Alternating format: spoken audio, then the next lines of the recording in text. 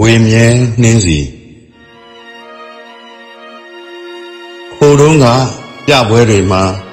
နှင်းစီတပွင့်ပုံတင်ချိတ်ယုံနဲ့ပကြီးကားလဲအဖြုတ်ခံရရေးဆွဲသူလဲအစ်စ်ခံရတယ်မိခင်ကရင်သွေးကိုနှုတ်ကြကျွေးမယ်ဘာအဓိပ္ပာယ်လဲမေးစရာလားမိခင်ကရင်သွေးကို အသက်ကယ်ပေးမယ် ဘာရည်ရွယ်လဲမေးစရာလားပစိန်ရိုးတဲ့ချိုးဖဲ့တိုင်းကြွေရရင်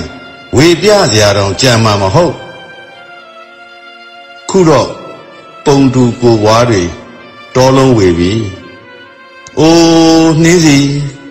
ရန်လိုတိုက်ခိုက်သူများအတွက်ဘယ်လိုရင့်ကျက်ရက်ဆက်ရိုင်းဆိုင်မှုများကိုဘယ်လိုဖြတ်ကျော်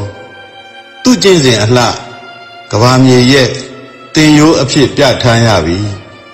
ဝေမြဲနှင်းစီအိန္ဒြေဖြစ်ရှေ့ကိုပဲကြည်နေသည်ကျွန်တော်မင်းကိုနိုင်ပါ